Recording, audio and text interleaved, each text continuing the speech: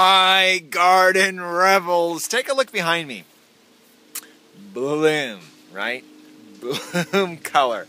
I want to show you some things. I want to show you some bloom color, and I want to show you on your hanging basket something to watch out for. Now is the time, right? This is middle-ish, late-ish, June-ish. So I want to show you what can happen. I saved one just for you.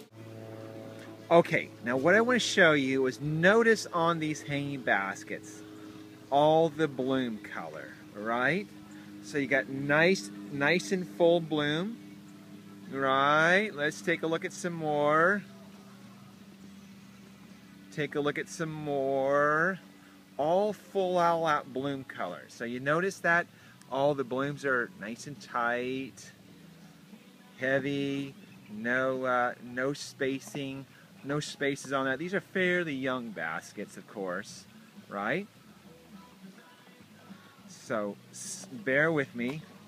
Bear with me. We got some more color, right? More color to boot. More color. Now watch this. There's color, color, and whoa, whoa, whoa. Take a look at those guys. You notice that? Hmm. Okay, so bloom, no bloom. Bloom, no bloom. Bloom, no bloom. What up?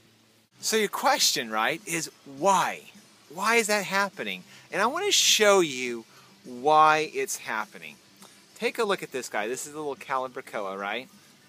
Before the guy gets. Now, I'll show it to you. It's kind of hard to see.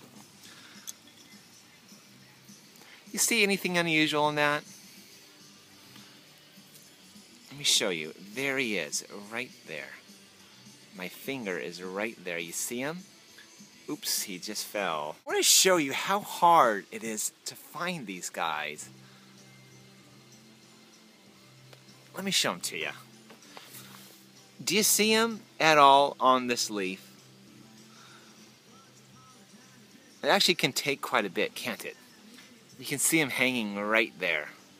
See, that's the budworm. And so they're going into these blooms and eating them up. That's their job. And so we need to do is just, it's their job, but not on your basket.